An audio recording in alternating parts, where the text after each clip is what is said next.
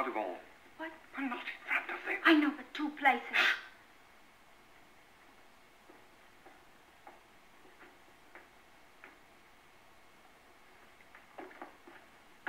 Please, Miss I beg you, control yourself. There's no need for panic. Oh, isn't there? This is a plot, isn't it? Supper for two.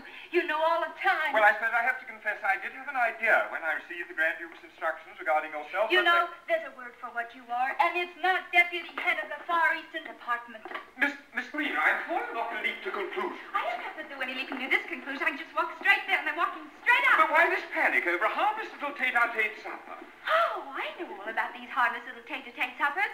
I've had to fight my way out of quite a few. Champagne, and I hope you like caviar, and something cold to follow, because we really don't want the servants around, do we? It's so much more fun serving ourselves, don't you think? And then after supper, Miss Marina, you must be very tired. Why don't you put your feet up on this nice sofa? Oh, no, I know every move.